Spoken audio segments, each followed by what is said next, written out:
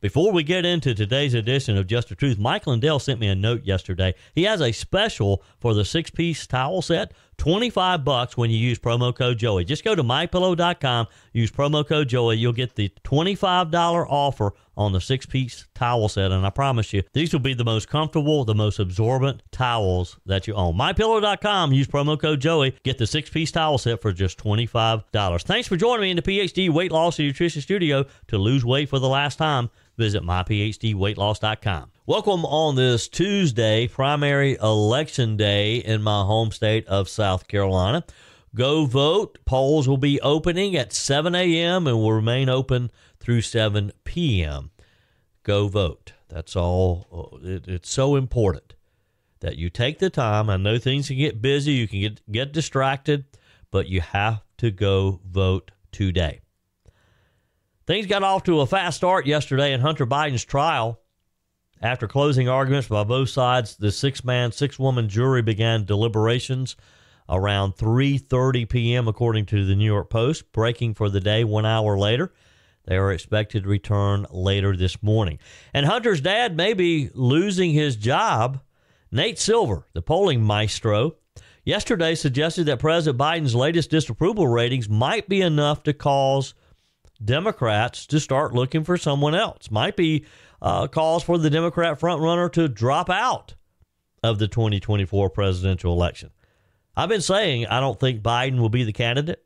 Last week, Representative Ralph Norman on this show said that he didn't believe Joe Biden's name would be on the ballot in November. Are you believing us yet? U.S. District Judge Aileen Cannon rejected attempts to dismiss more than half a dozen charges against former President Donald Trump yesterday related to his alleged mishandling of classified documents. And Nancy Pelosi says, I take responsibility for not having National Guard at the Capitol on January 6 in a video shot by her own daughter we have the audio for you to hear. South Carolina Representative Nancy Mace still appears to be in the good graces of former President Donald Trump. He re upped his endorsement of the GOP Congresswoman yesterday after previously blasting her as a, quote, absolutely terrible candidate. Uh, Mace is facing two opponents in today's primary for South Carolina's first congressional district.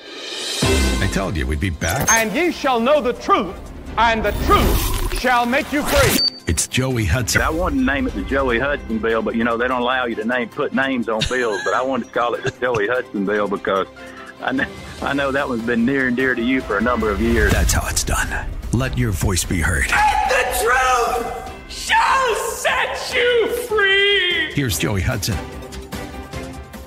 Let's start with the story out of the New York Post. Trial judge Maryellen Noreika kicked off proceedings yesterday morning by overruling many of the defense team's objections to her proposed instructions to the jury.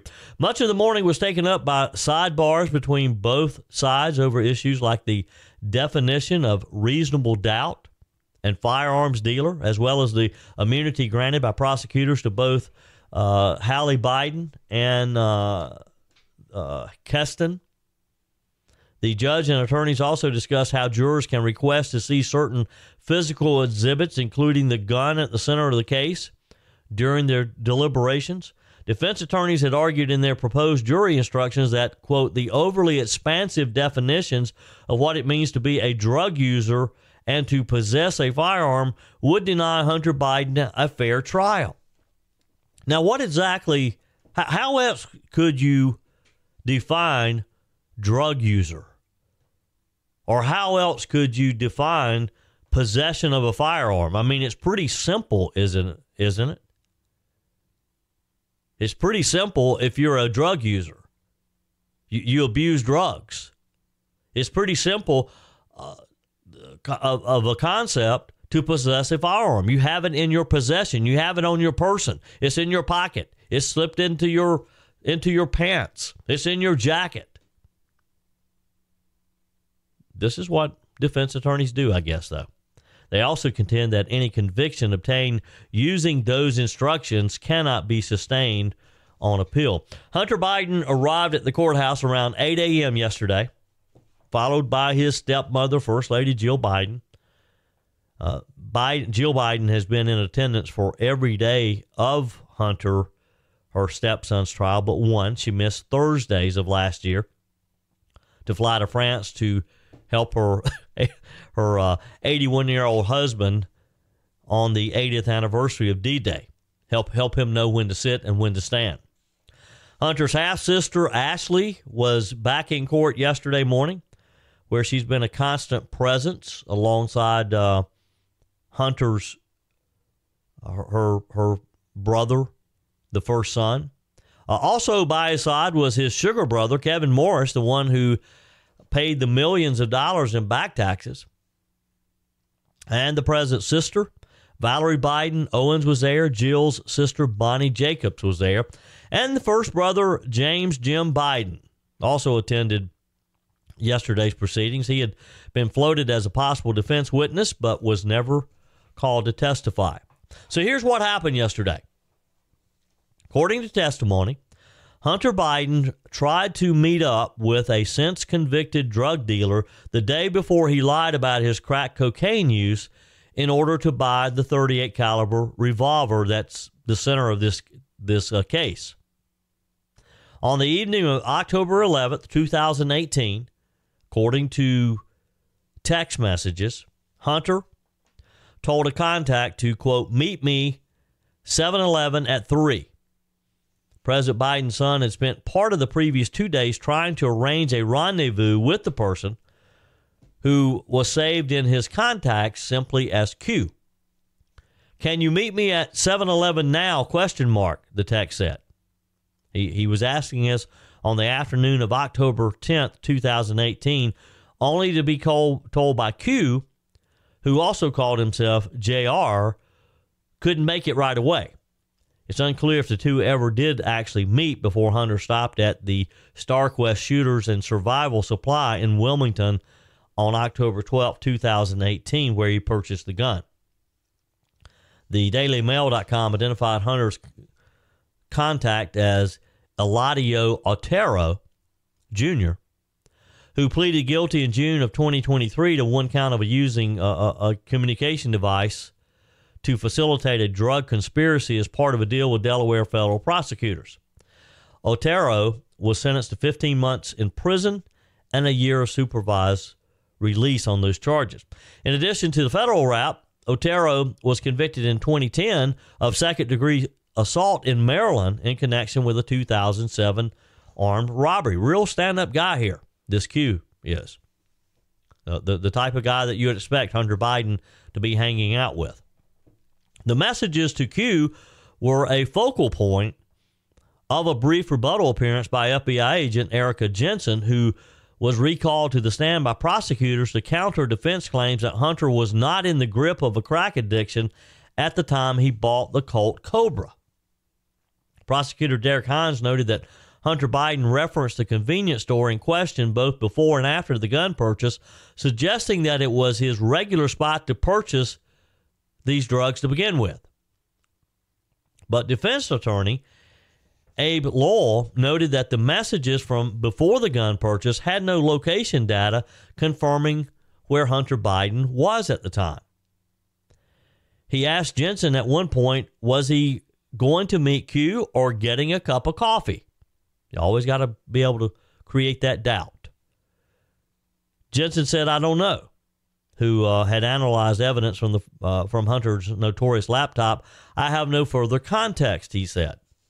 An email recovered from Hunter Biden's hard drive also shows that he withdrew $800 from his Wells Fargo checking account on the evening of October the 11th. Now, uh, the importance of this, the significance of this, is that in line with behavior testified to by Hunter's ex girlfriend, Zoe Kestan, who told prosecutors last week that her uh, her former boyfriend routinely removed large sums of cash to buy drugs, even giving Kestan and at least one other dealer access to codes to pull the money out from the account themselves, sort of a self-service type thing, uh, or a auto drawdown.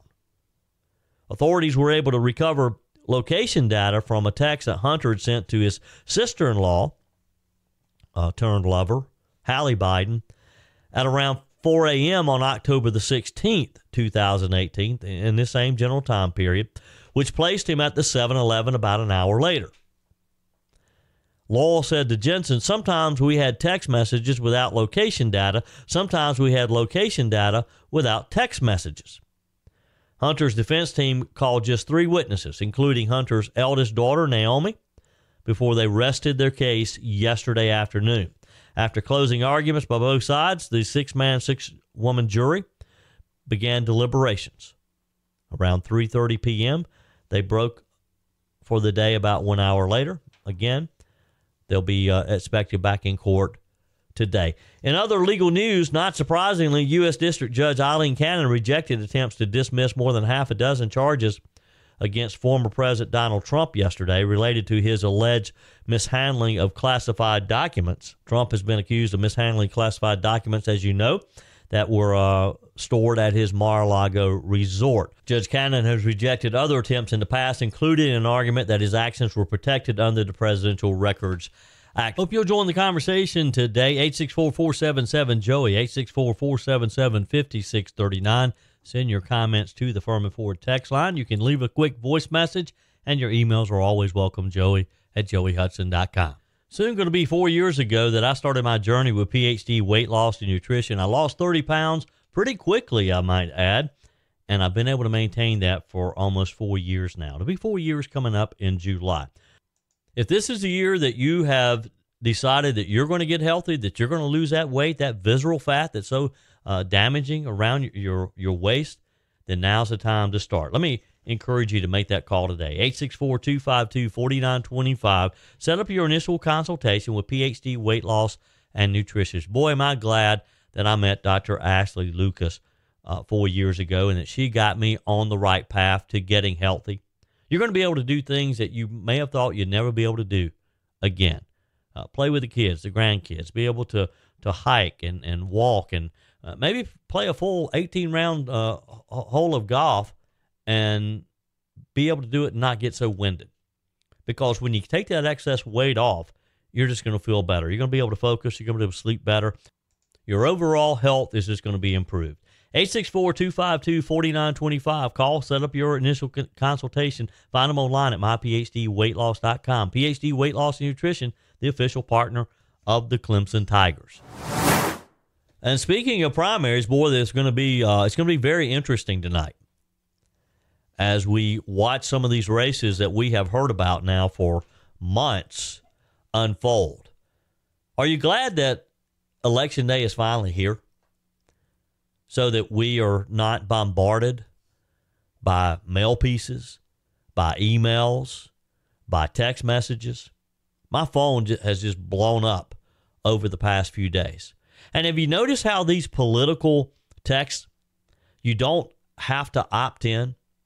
Now, when we do a text at the radio station or when I do a text for my podcast, I'm always warned that you, you can only do this when you allow people to opt in. But I've never opted into a single political text, and I get them constantly. I, I mean, I'd be afraid to tell you how many text messages I received yesterday alone. Uh, I, I, would get one for one candidate telling me why I shouldn't be voting for another candidate. Uh, endorsement reminding me that certain candidates have been endorsed by somebody, you know, whether it's Trump or uh, Henry McMaster. Text messages telling me why one uh, one state rep shouldn't deserve to be reelected. I mean, it's just been endless. But today is the day. Today is Judgment Day for uh, for these politicians. Uh, one of the races that is going to be watched not only for us here in South Carolina but across the nation is that of South Carolina Representative Nancy Mace in South Carolina's congressional first congressional district. Now, Mace has had a love-hate relationship with Donald Trump. She supported him and then she kind of turned on him. Yesterday, uh, and and by the way, Trump endorsed her early on, endorsed her reelection. Yesterday, he kind of um, re endorsed her, if you will, as he posted on Truth Social It is my great honor to endorse a strong conservative voice for South Carolina's 1st Congressional District. Nancy Mace worked hard campaigning across South Carolina in support of our record breaking win. In Congress, she is fighting to secure the border, strengthening our military, support our veterans, uphold the rule of law, stop political weaponization, and protect and defend our always under siege Second Amendment. Congresswoman Nancy Mace has my complete and total endorsement. South Carolina, get out and vote tomorrow. This was a Truth Social post that, that Trump posted yesterday.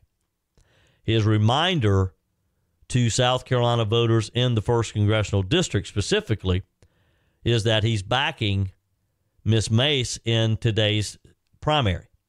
It, it comes, though, after she, he did not endorse her in 2022 in the midterm elections over what the former president viewed as disloyalty after the January 6, 2021 riot, protest, whatever you want to call it, at the Capitol. Uh, May said in an interview with CNN a day after Trump supporters uh, attempted to prevent the certification of Joe Biden's 2020 election victory, uh, as the the day that we infamously know as January 6, 2021. She said everything that he's worked for, his entire legacy, was wiped out yesterday. And we've got to start over, she said. We need to hold the president accountable, she said later that month, condemning Trump during a House floor speech. Trump opted against endorsing Mace in her 2022 race because of these remarks. He actually went after her, saying that she's absolutely terrible. She's the, uh, an absolutely terrible candidate and disloyal to the Republican Party, he claimed at the time. The next year, the South Carolina Congresswoman reportedly took a shot at the former president's supporters behind closed doors. Mace, one of eight GOP lawmakers who voted to oust former South uh, House Speaker Kevin McCarthy in October, wore a T-shirt to the Capitol emblazoned with a red A days after the vote. There was a widely circulated photo of Miss Mace standing outside of the Capitol with her white T-shirt and this red A on it. She reportedly complained to her staff that people didn't understand her distinctive shirt was a reference to the scarlet letter were probably Trump voters, she said. This, this according to an article in Slate magazine. Then Mace endorsed Trump in January 2024, and the 45th president returned the favor in March of this year, saying, I don't see eye to eye perfectly with any candidate. Uh, this is Mace's endorsement of, of Trump. This was on X in January explaining that her endorsement of Trump, uh, she said, and, and until now, I've stayed out of it, but the time has come to unite behind our nominee. An Emerson College Hill survey last month found that Miss Mace is leading her main GOP uh, primary rival, former South Carolina state official Catherine Templeton, by a pretty substantial margin. Still, she faces uh, a, a tough hill to win this on the first ballot because there's also a third candidate taking some of her support away. Gabrielle Lipsky, a rep for the South Carolina Republican, told the Post, uh, the, the Post and Courier, Congresswoman Mace is the endorsed candidate, having not only reconciled with President Trump, but now sharing an unbreakable bond. She stands unwaveringly with President Trump and his supporters fully committed to making South Carolina and America great again. On the Slate piece, Lipsky said any attempts to undermine Mace's support for President Trump or the conservative base are deceitful and desperate. So it's going to be interesting to watch this race because uh, she needs to win this tomorrow night. And with two other candidates, the likelihood of her being able to do that is probably not too good. Catherine Templeton spent a lot of money. She will be a competitor. Hope you'll join the conversation today. 864 477 Joey, 864 477 5639. Send your comments to the Furman Ford text line. You can leave a quick voice message, and your emails are always welcome, Joey at joeyhudson.com. Whether you're replacing a broken appliance or maybe you're just upgrading, you're totally remodeling the kitchen, when it's time to get those new appliances, when you're ready for them, you don't want to have to wait weeks or even months to get started using them, right? Well, that's not the case when you shop with my friends at Discounted Appliance Warehouse. With over 11,000 square feet and 1,500 appliances at any, any given time, you can buy today and use today quite often. I'm talking about shopping with my friends at Discounted Appliance Warehouse in Pickens. It's worth the short drive over to Pickens. Jeff, Johnny, Kyle, the whole team over there, they'll take good care of you. They have an award winning service department, expert installation, extended warranties, and at Discounted Appliance Warehouse, they treat you like family. You're more than just a credit card swipe to all the team over there. Discounted Appliance Warehouse, they're proud to offer Speed Queen, the only washer and dryers with manufacturer's warranties that cover parts and labor. You owe it to yourself if you're looking for a new appliance to head over to Pickens to Discounted Appliance Warehouse online at dawpickens.com, dawpickens.com. I've been telling you for some time now that I don't think Joe Biden will be the Democrat nominee. I, I'm just not convinced that his name is going to be on the November ballot when we go into that polling booth in November to make our decision. Polling, uh, a polling guru that is well known in the political world says that uh, this is Nate Silver. He's founder of 538. He said yesterday that President Biden's latest disapproval ratings might be enough to cause the Democrat frontrunner to drop out of the 2024 presidential election. Now, think about that for a minute. Uh, Silver posted this yesterday. He said, but Biden just hit a new all time low in approval, 37.4%, at 538 yesterday. Dropping out would be a big risk, but there's some threshold below which continuing to run is an even bigger risk, he said. Are we there yet? I don't know, but it's more than fair to ask the question. And he's right. He went on to state that Democrats would have been given a, a fighting chance if the 46th president had eliminated himself from the upcoming election much earlier. He's right there, too. Joe Biden should have stepped aside long ago. Joe Biden should have never even gotten into the race. He should have been talking with his Democrat colleagues about who a good replacement would be. I think part of the reason Joe Biden was felt like he was being pushed to run for another term is they don't know what to do with Kamala Harris. They have no clue where the where the vice president will go. They do know this. They know that if Joe Biden drops out, she believes that she's the heir apparent and she's not going to go away quietly. So, all this talk about Gavin Newsom potentially coming in on his uh, uh, white horse to save the Democrat Party is going to be tough because waiting there for that white horse is Kamala Harris, and she's not going to go away without a fight.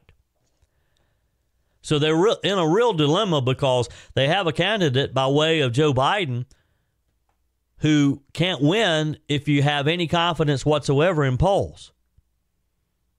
Silver wrote, What's clearer is that Democrats would have been better served if Biden had decided a year ago not to seek a second term, which would have allowed them to have some semblance of a primary process and give voters a say among the many popular Democrats across the country.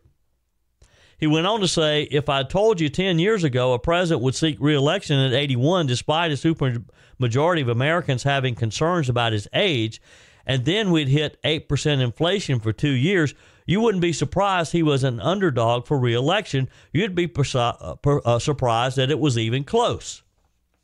And it shouldn't be close, should it? He's right. Uh, under the current conditions of the Biden administration, it really shows you just what shape our country is in that we're di- this divided.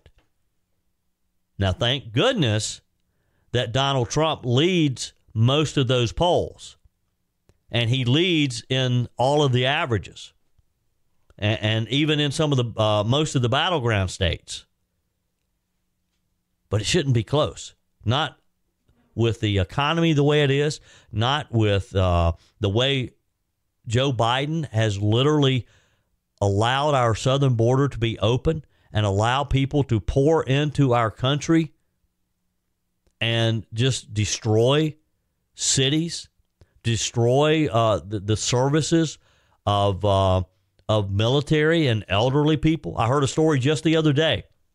I think this was in maybe the Phoenix area, where a nurse was talking about that they could not care for the elderly and veterans in that hospital because they were too overwhelmed by illegal aliens.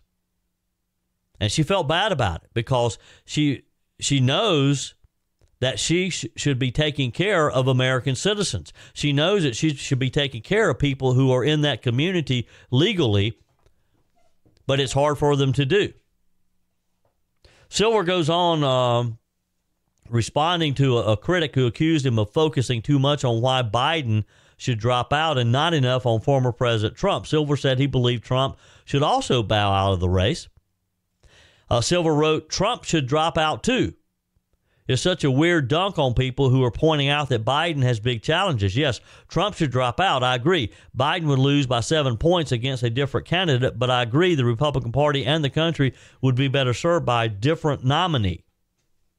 So we have this top ranked pollster basically saying that both parties is getting it wrong. That Joe Biden should throw in the towel, and so so should Donald Trump. For different reasons, of course. I'm sure I'm sure Silver is saying this about Trump because of the legal issues that Trump is finding himself in, primarily because of the Democrats. Uh, Biden and some of his top advisors reportedly don't believe the bad poll numbers. They don't want to admit it. And look, it, it's hard to believe that, isn't it? It's hard for for us to look at negative information like that. N- n- none of us want to be in a position to where we don't feel wanted and appreciated. But I would think that a seasoned politician like Joe Biden is supposed to be somebody who has has lived on the public dole for most of his life. He knows how to read a poll. He knows how to read uh, the wind blowing in the direction, uh, and, and it's blowing. It's blowing against him this year, probably for the first time in his political career. But it should be. He's 81 years old, and, and just watching him, you can tell there's something wrong with Joe Biden and, and that's okay. Again, he's 81 years old. um, according to a new Fox News poll, Trump and Biden are in a dead heat in Virginia, a state that Biden won by 10 points in 2024. And, and that just comes back to what Silver is saying here. Uh, this is a close race, and it shouldn't be. He believes it shouldn't be because he, he believes that Joe Biden, as the incumbent, should have a wide margin. I mean, it's a dead heat in Virginia, and Biden won that by 10 points in 2024. Democrats in Virginia are standing on their head. Democrats in Virginia just can't believe that they, they believe they're in a, a nightmare here. They're wanting to wake up because it will also affect the down ballot candidates. The candidates running for the state house, for the state senate in Virginia, the candidates running for local county council, and, and other local elections. It affects all of them. Now, the other thing that this poll, uh, again, it was released last Thursday, that that um, that Nate Silver is, is citing. It shows Biden and Trump with 48% each in a head on head to head matchup in the Old Dominion state, Virginia. I know I've asked you before, but I'd love to know what you think.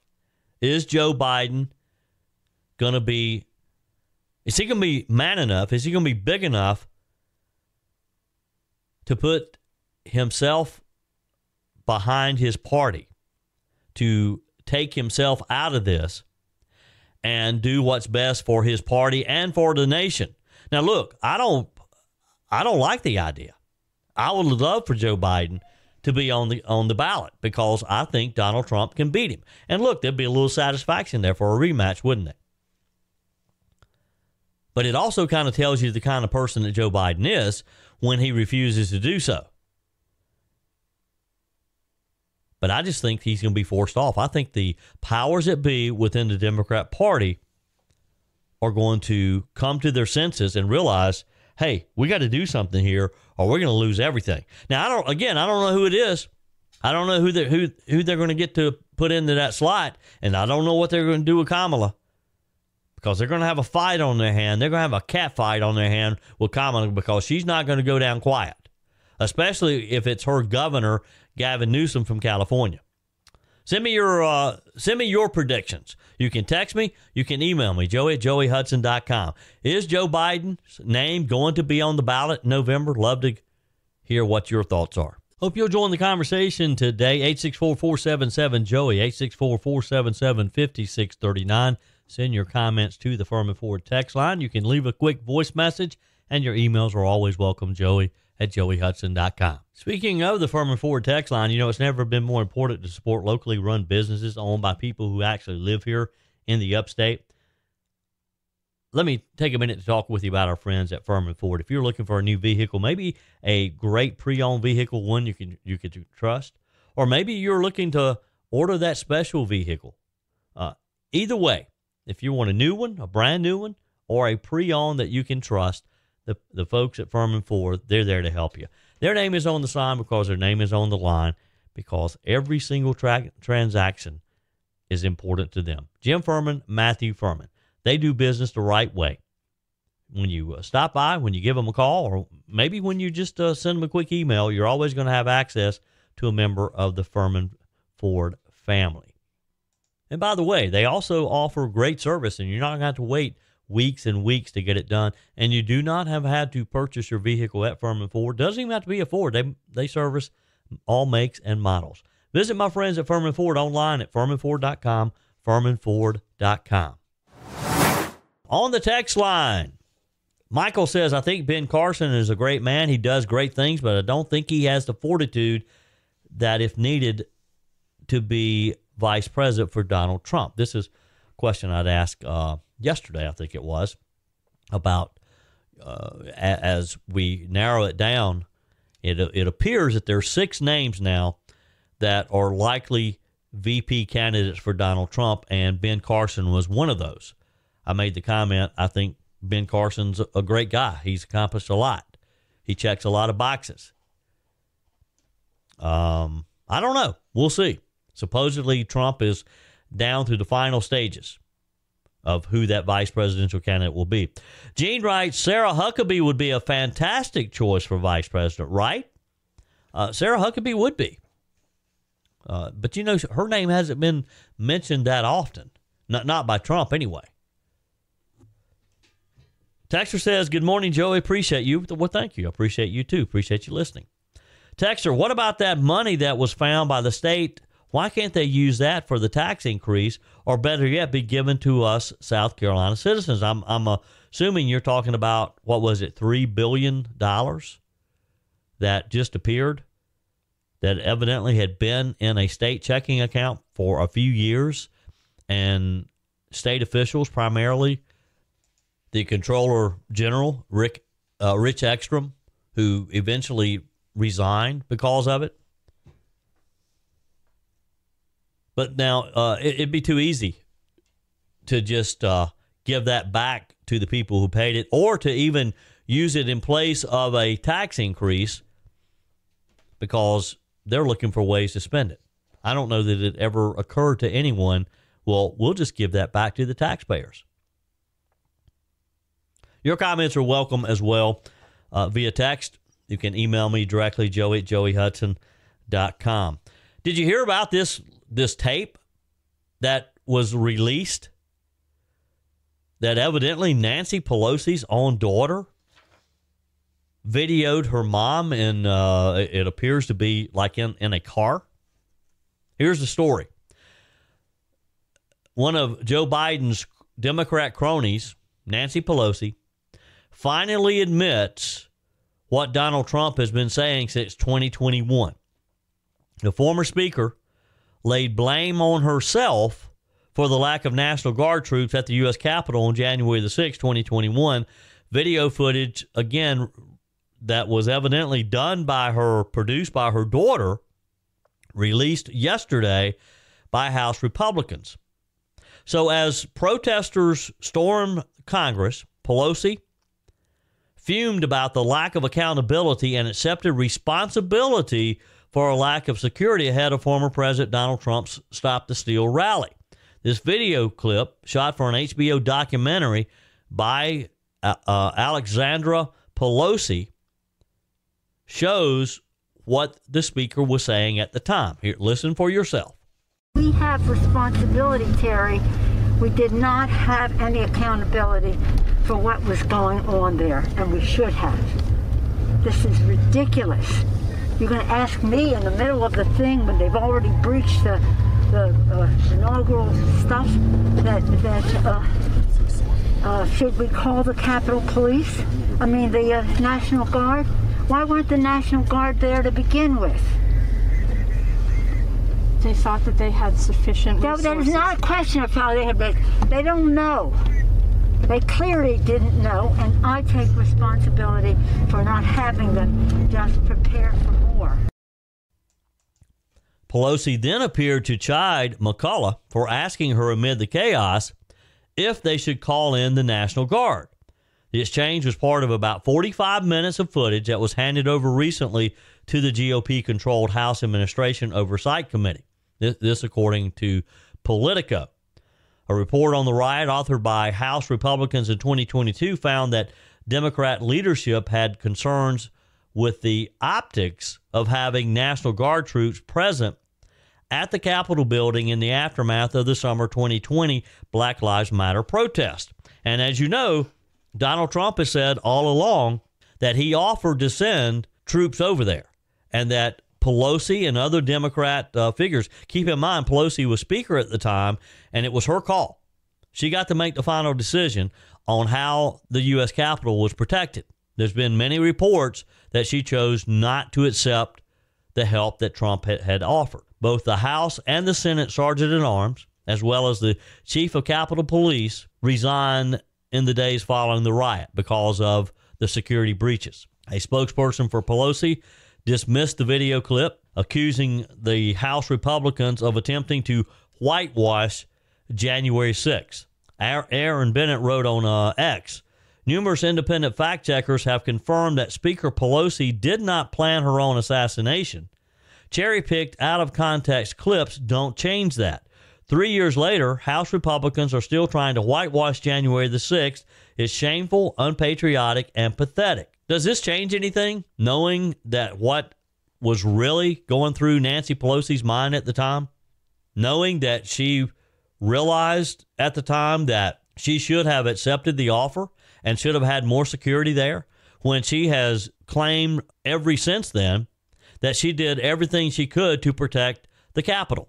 It's been an ongoing debate between Donald Trump and Nancy Pelosi. Trump has always said that he offered additional security and that Pelosi denied it. Yet, how many years later are people still blaming Trump? The Democrats still pointing the finger at Trump. You think they'll have a different attitude now that this that this video has surfaced? And by the way, how did her daughter do this? Take this video and and allow it to be released? Don't you know there's some tense moments in the Pelosi family right now?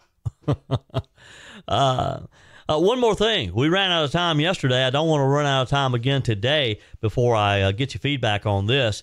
Uh, in a bid to win over Nevada's service industry workers, you heard where Donald Trump vows tax free tips. I, I, I want to get your feedback on this as well. During a rally on Sunday in Las Vegas, President Trump said that he would work to make tips tax free. Uh, again, an apparent appeal to workers in the city's huge service industry, and there's no city in America that has a larger service industry than Las Vegas, Nevada. Uh, did, did you see the huge crowd showing up again? Temperatures at the event in the city Sunset Park was around 100 degrees at noon when he took to the stage. Didn't slow him down. Uh, they were passing out water all, all, around. The, the Trump campaign, in anticipation of the heat, supplied the rally with free bottled water, tents with air conditioning and shade, misting and cooling stations, and additional medical staff. And they're very good at this. I've been to a number of these rallies, and they anticipate these needs. I watched them do it uh, in upstate South Carolina in Pickens last summer when they had uh, lots of water. And I, I don't know that it got got to 100 degrees that day, but it was very hot. And we had, unfortunately, we had people passing out. And thank goodness that the Pickens First Baptist Church opened up their uh, their hall, their fellowship hall, for people to come in and, and to cool off. And even though it was 100 degrees, Donald Trump stood on the stage and gave an hour long speech. He uh, did not endorse a GOP candidate in the state Senate race, the outcome of which could be key as to whether or not Democrats or Republicans control uh, the U.S. Senate. He praised GOP candidate Sam Brown, calling him a good man, but declined to offer a full endorsement of him before today's primary. That's it for today's edition of Just the Truth. Thanks for joining me in the PhD Weight Loss and Nutrition Studio to lose weight for the last time. Visit myphdweightloss.com. If you haven't joined our mailing list yet, visit my website, joeyhudson.com. Just click on the Connect with Joey button so that you can receive our emails and the most up to date news. Also, find me on YouTube. Be sure and like, subscribe, uh, follow me on my YouTube channel. Just search for Joey Hudson. Appreciate you spending a few minutes of your day with me. Be sure and forward this edition of Just the Truth to some friends. Just click on the share button, send it to a few of your contacts because if we're going to build our community and we're going to win in the June primaries, and if we're going to win in November especially, we got to build an army of conservatives. The way we beat Joe Biden is through educating people, and no better way than encouraging them to listen to just the truth. Hey, keep those comments coming via the Furman Ford text line 864 477 Joey, 864 477 5639. Your emails always welcome as well. Joey at joeyhudson.com. Don't forget to take advantage of the My Pillow special $25 for the My Towels six piece.